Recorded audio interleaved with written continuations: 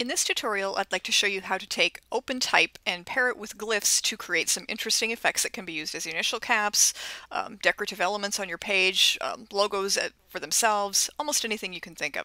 What I'm going to do is I'm going to start with a, a basic character and then I'm going to embellish it a little bit. I'm going to drag myself a fairly large text box. I'm going to type a capital A. And I am going to change my font to, again, I'm going to choose an OpenType font. In this choice, I'm going to go with Adobe Caslon Pro. And again, I'm going to go with italic because I know that that is where my swash alternates are going to be hiding. I'm going to go ahead and make this significantly larger. I'm going to bring it all the way up to 140 points so we can see it.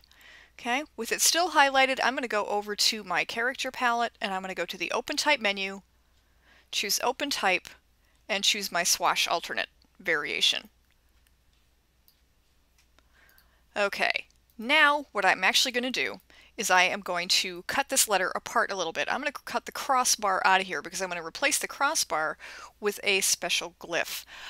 In order to do that, my first step is to turn this into outlines. You may remember doing that in the paths video earlier today. Um, what I'm going to do first is I am going to not highlight it as text like this, but I'm going to click on that black arrow and make sure my text box is selected. Then I need to go up to the Open Type menu and tell it to create outlines.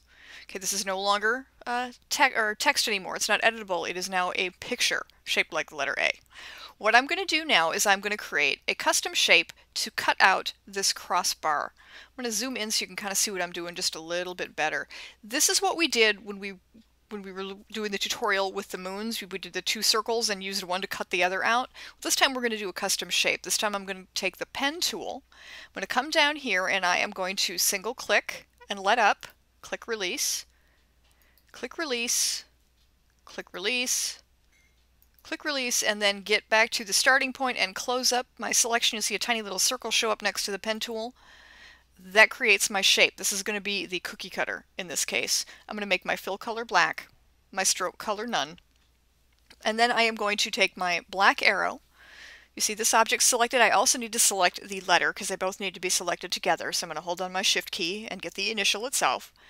Then I need to find my Pathfinder palette. Remember your Pathfinder palette looks like this. If you don't see it, go up to Window, Object and Layout, and choose Pathfinder. Under the Pathfinder palette, again what I'm going to do is I am going to subtract the frontmost object from the back. If I do that, you'll see that the crossbar is now gone. Zoom back out again. And now what I'm going to do is I am going to create another text box so I can bring in the glyph that I'm going to use as the crossbar. This time I'm going to go up to my type menu and go to glyphs. From the pull down menu on the bottom, I am going to find my font called Adobe Wood Type Ornaments. I suspect it's off your screen. But I'm going to find Adobe Wood Type Ornaments and I am going to choose a glyph from this set. I'm going to double click on it to insert it where my cursor is. Go ahead and close that up highlight the font, and I'm going to need to make it significantly bigger if it's going to work for what I want it to work for. I'm going to bring it up to about 120 points.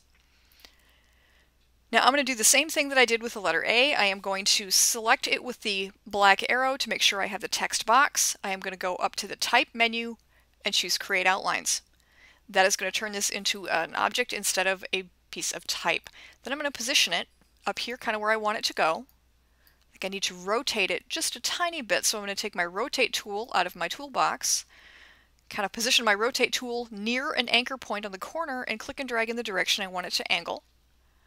That looks good. Then I'm going to take my black arrow and again reposition it until I get it exactly where I want. Now I've got a glyph that replaces the crossbar. That looks pretty neat, I think.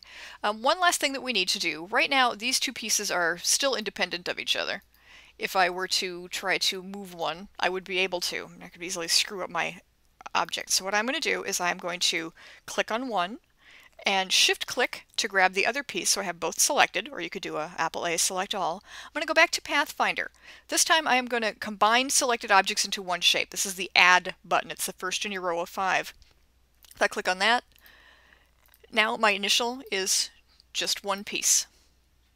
So that is using uh, swash alternates out of the OpenType set and using glyphs to make decorative characters.